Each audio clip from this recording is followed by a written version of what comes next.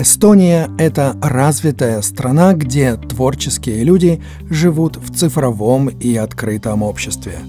Это самая предпринимательская страна в Европе, ведь на душу населения в Эстонии приходится больше всего стартапов и единорогов.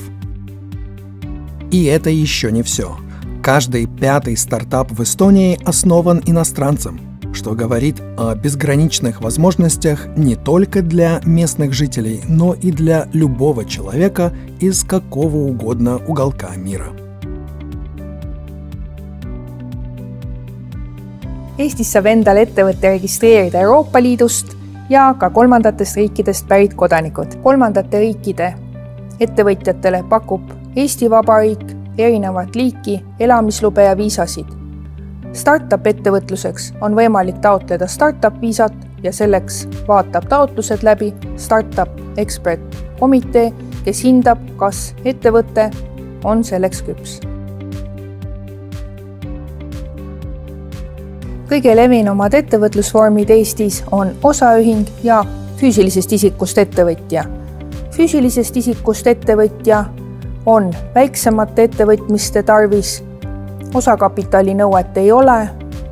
aruandlus on ka lihtsustatud kassapõhine raamatupidamine. füüsilisest isikust ettevõtja vorm sobib hästi põllumajanduses ja ka teenuste sektoris. kuid kui ettevõtja soovib kasvada, siis kindlasti soovitame valida osaühingut äriühingu vormina, sellepärast et osaühingut on võimalik asutada ka üksinda. osakapitali nõuet ei ole see tähendab seda, et alustaval ettevõtjal on aega koguda kohustuslik osakapital kaks tuhat viissada eurot oma tegevuse käigus ja fikseerida see ära bilansis ja seejärel kanda juba muudatus ka äriregistris olevale B-kaardile. kui on huvi alustada väiksema ettevõtlusega või on see lisasissetulekuks, siis on Eestis võimalik avada ka ettevõtjakonto. see tähendab seda, et isikul ei ole aruandluskohustust. kõik tulud laekuvad ühele spetsiaalselt selleks avatud pangakontole, millest lähevad automaatselt maha riiklikud maksud ja seejärel on võimalik seda raha juba ise vabalt kasutada. ettevõtja kontol ei ole võimalik kanda ettevõtluskulusid ja seetõttu ongi see eelistatud siis kas üliõpilastel projektide, projektitöö raames või siis mõne muu väiksema ettevõtmise raames.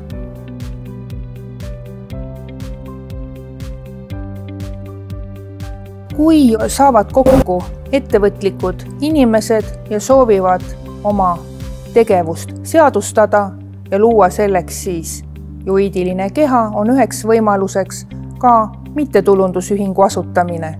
tegemist ei ole äriühinguga ja siin peab kindlasti rõhutama, et mittetulundusühingut eristab äriühingust see, et seal ei ole võimalik kasumit asutajate vahel jagada, vaid kasum läheb oma ühingu põhikirjaliste eesmärkide täitmiseks.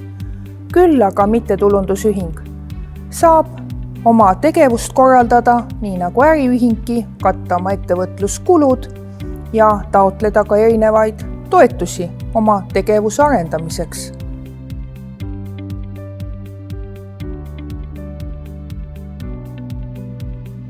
välismaalased valivad sarnaselt nagu teisedki huvilised osaühingu vormi, sellepärast et see on kõige lihtsamini arusaadav ka oma partneritele, maksu seisukohast on see otstarbekam ja samamoodi osanikud riskivad ainult oma osaluse suurusega. ja osaühingu asutamine on tehtud võimalikult lihtsaks, seda saab teha elektroonselt, see võtab aega kaks päeva, mitte rohkem osakapitali nõuet, kohest sissemakset ei ole, seda saab oma käibest ja kasumist koguda ja seetõttu ongi see ka välismaalaste seas eelistatud vormiks olnud.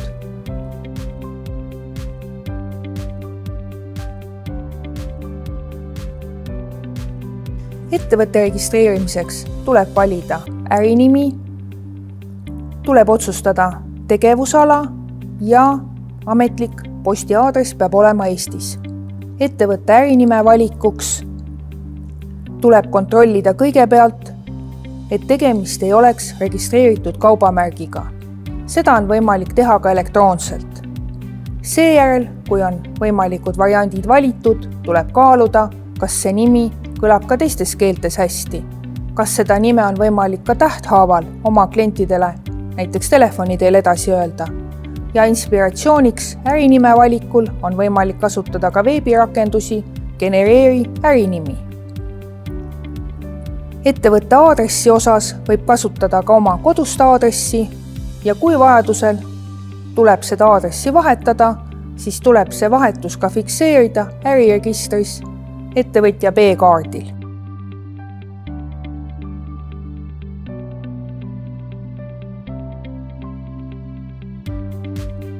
Kui on valitud ettevõtte nimi, tegevusala, aadress on teada, siis järgmine tehniline pool ettevõtte registreerimiseks tuleb otsustada, kas teha seda ise elektrooniliselt või minna notaribüroosse. seda saab elektroonselt läbi ettevõtja portaali teha, omades ID-kaarti ja vastavaid PIN-koode või siis mobiili-ID-d. kui minna notarisse, siis aitab notar asutamisdokumentide vormistamisega, samuti konsulteerib, kui on tegemist erinõuetega põhikirja või asutamislepingu osas. või kui mõnel asutajal ei ole mingil põhjusel Eesti ID-kaarti.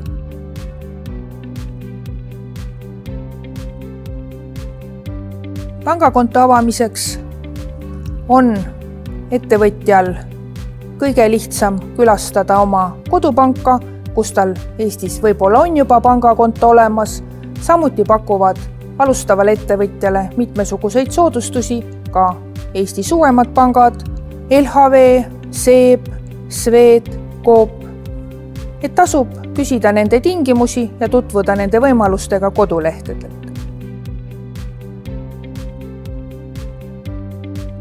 kantud äriregistrisse ja võetakse tööle töötajad, siis on ettevõttel kohustuslik registreerida töötajad Maksu- ja Tolliametis töötajate registris. samuti peab ettevõtja arvestama, kas on tegemist käibemaksu kohustuse tekkimisega. kui kalendriaastal täitub summaarselt nelikümmend tuhat eurot, siis on see kohustuslik või kui Euroopa Liidu liikmesmaadest soetatakse rohkem kui kümne tuhande euro eest, siis sel juhul tuleb ka ennast registreerida Maksuametis käibemaksukohuslasena.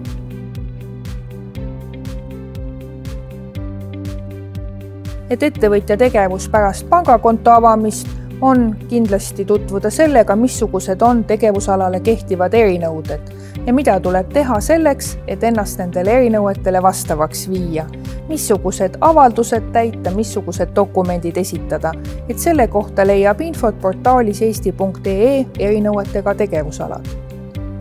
Рекомендации по созданию компании. Вы можете зарегистрировать собственную компанию, посетив этот веб-сайт. Узнайте больше об электронном резидентстве на веб-сайте e-residency. Вы также можете узнать об особых требованиях в области пищевых продуктов на сайте Департамента сельского хозяйства и продовольствия.